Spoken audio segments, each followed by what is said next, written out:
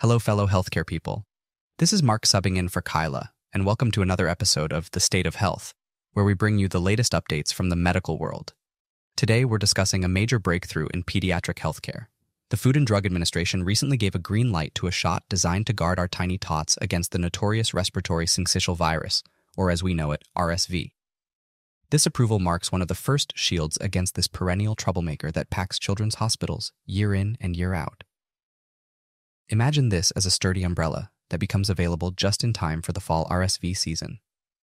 This monoclonal antibody shot is like an invisible shield that protects infants, and it's a welcome relief for parents and caregivers. The approved treatment, named Beyfortus, developed by Sanofi and AstraZeneca, tackles an illness that can be severe in both older adults and young infants.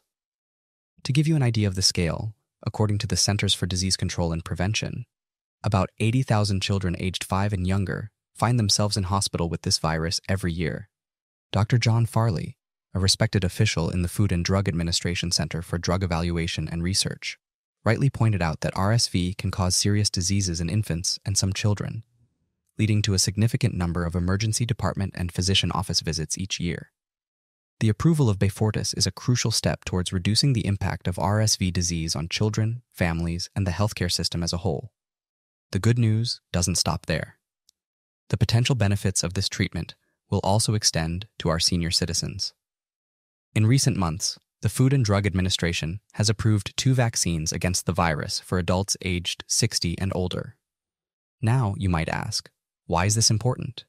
Well, every year, the virus is linked to 60,000 hospitalizations and up to 10,000 deaths in people aged 65 and older, according to the Centers for Disease Control and Prevention. That's a pretty compelling reason to take this seriously, don't you think? In conclusion, the unanimous vote by agency advisors in favor of approving the treatment for infants is a giant leap forward in our fight against RSV and a testament to the relentless hard work of researchers and clinicians worldwide.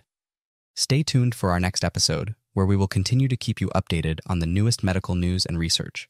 But if you can't wait until then and you're eager to dive deep into the world of medicine, head straight to medzcool.com, your go to source for interactive medical education.